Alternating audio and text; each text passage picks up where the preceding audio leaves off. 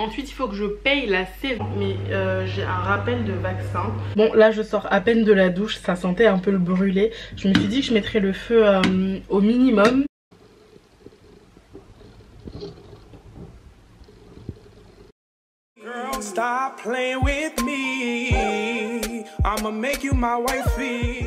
Coucou à tous, donc c'est Lucie et me revoici pour une nouvelle vidéo. Donc aujourd'hui on se retrouve pour une petite vidéo plutôt tranquille. Je vais juste réaliser mes démarches pour la rentrée. Donc pour ma prochaine rentrée qui se fera dans moins d'une semaine, dans 4 jours exactement, euh, je reprends le 3 février. Donc euh, ça arrive très très bientôt. Donc du coup, euh, pour euh, cette rentrée, j'ai pas mal de documents à, récupérer, de paiements à réaliser. Et du coup, j'ai décidé de le faire avec vous. Voilà. Donc je me suis fait une petite liste. Une petite liste de tout ce que j'avais à faire. Donc démarche pour la rentrée. Donc je vais vous euh, la citer un petit peu. Donc je dois commencer par faire remplir le certificat d'aptitude par le médecin. Ensuite, il faut que je paye la CEVEC. Donc avant, c'était pas la CEVEC qu'on payait. Il me semblait que c'était la fac, je sais plus trop. En tout cas, c'est 91 euros. Donc je dois payer la CEVEC. Je dois le faire sur internet. Et euh, je vais le faire euh, ce soir là. Je vais tout simplement payer là.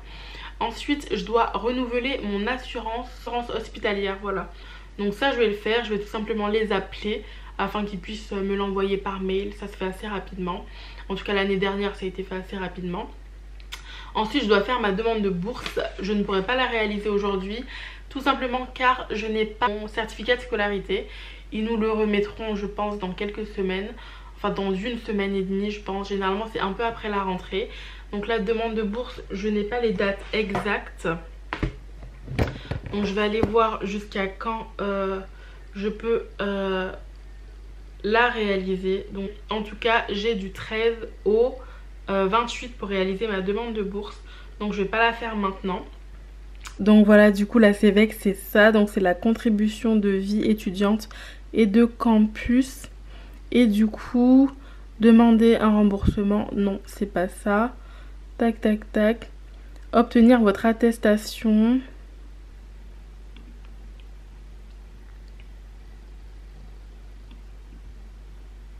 Donc voilà, j'ai enfin réussi, j'ai eu un petit peu de mal mais euh, c'est bon, j'ai mon attestation donc je pourrais la remettre à l'école euh, lundi. Donc déjà ça c'est fait, payer la CEVEC, euh, je l'ai déjà barré. Ensuite le document, le certificat à remplir par le médecin, j'irai chez le médecin après-demain. L'assurance de vie étudiante, la MAC, la MAC, bref, du coup je les ai appelés, ils me l'ont envoyé, ils se sont trompés de date parce qu'en fait ça se renouvelle il fallait juste une modification. Du coup, ils m'ont modifié les dates. Ils m'ont mis 2020-2021. Donc, c'est plutôt cool. Ils me l'ont modifié. Et euh, c'est tout. Du coup, c'est tout. Et ma demande de bourse, je la ferai euh, en quand ils me donneront mon certificat de scolarité parce que je peux pas la faire avant. Enfin, je pourrais la faire avant mais ça me sert à rien en fait. Ça sert vraiment à rien que je la fasse avant parce que il me manquera des documents. Donc je préfère tout faire avec tous les documents en main. Donc là, je vais aller faire des petites courses rapidement et, euh, et je rentre à la maison. Je vous dis à tout à l'heure.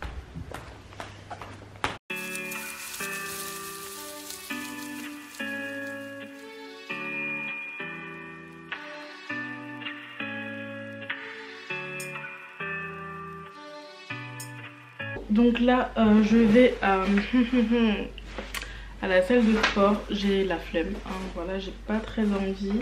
Je devais y aller depuis 16h, euh, je me suis pas motivée. Là il va être 21h et du coup j'y vais maintenant. J'ai retardé, j'ai retardé. Alors que bah, j'ai... faut y aller quoi. Donc je vais y aller et je vous reprends euh, là-bas ou tout à l'heure. En même temps, je sais pas, je vais essayer de vous emmener, vous montrer un peu les exercices que je fais. Euh, c'est pas un truc de ouf, hein, mais bon, s'il y a trop de monde, je le fais pas, mais bon, s'il y a pas trop de monde, je vais, je vais tenter.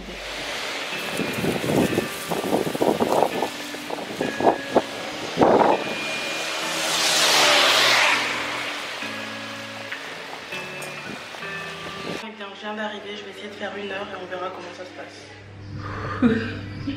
je viens de terminer, je suis juste KO. Euh, j'ai pas fait une heure, j'ai fait 40 minutes, mais... Euh, c'est intense, c'est vraiment intense. Je vous reprends à la maison. C'est Lucie et me revoici pour un nouveau vlog. Donc j'ai une tête fatiguée parce que je suis réveillée depuis peu. Enfin je suis réveillée depuis 5 heures mais euh, j'ai craqué, je me suis rendormie. Et j'ai été mettre mes lentilles donc mes yeux sont peut-être un petit peu rouges mais bon. Surtout celui-ci, j'ai galéré un petit peu. Donc aujourd'hui, j'ai rendez-vous chez le médecin. Il me semble qu'il y a quelques jours, j'ai pris rendez-vous avec vous. Donc il faut que j'aille voir mon médecin pour qu'il puisse remplir mon... Euh, je sais pas, comment on appelle ça? Je l'ai mis dans cette pochette. En fait, euh, c'est un document qui stipule que je peux reprendre ma formation. Donc, c'est un certificat à établir par un médecin. Euh, c'est écrit quoi? Je vais vous lire tout simplement.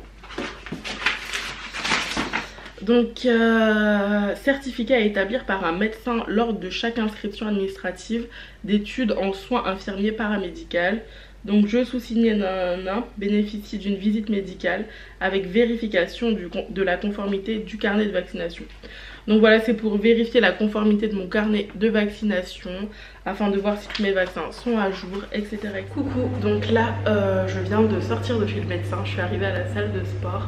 Euh, au final elle m'a rempli mon document, mais euh, j'ai un rappel de vaccin. Mais le souci c'est que je l'ai fait à 17 ans et il était plus censé se faire à 17 ans. Donc du coup elle m'a dit que je le ferais en différé, que dans l'idéal je pourrais le faire maintenant mais que bon c'était pas pressé. Donc elle m'a quand même signé le petit document. Euh, voilà et ma carte vitale n'est pas passée. Elle m'avait déjà fait le coup il y a 6 mois mais après je suis plus retournée chez le médecin. J'ai juste été à la pharmacie avec le renouvellement des ordonnances et tout. Et à la pharmacie ça passait mais je pense que je suis enregistrée à ma pharmacie. Donc ça ne pose pas de problème à la pharmacie mais euh, chez le médecin ça pose un problème. Du coup j'ai dû régler. J'ai une fiche de remboursement à envoyer. Et je pense qu'il faut que je fasse les démarches pour euh, changer de carte vitale parce qu'elle ne fonctionne pas. Donc je vais appeler euh, je suis à la SMEREP. Donc je vais appeler la SMEREP tout à l'heure. Bon je vais aller faire ma petite séance de sport. Et eh bien là je viens de rentrer. Je suis fatiguée. Je suis toujours KO de la séance là. Voilà. Donc je vais cuisiner rapidement l'air euh, je suis en jeûne euh, intermittent et j'ai le droit de manger à partir de midi. Et il est déjà... Euh, quelle heure il est?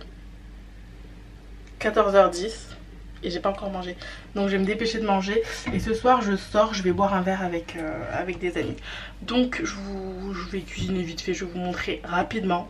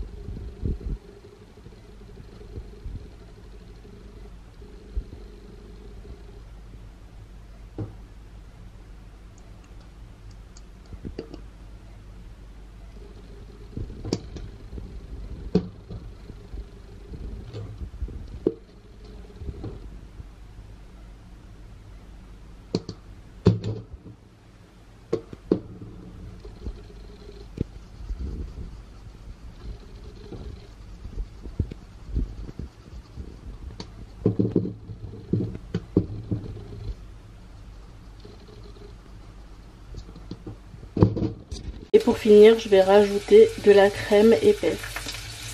Voilà, donc je viens de terminer de cuisiner. Euh, c'est vraiment un plat rapide, euh, pâte, euh, crème fraîche, avec de la viande et tout.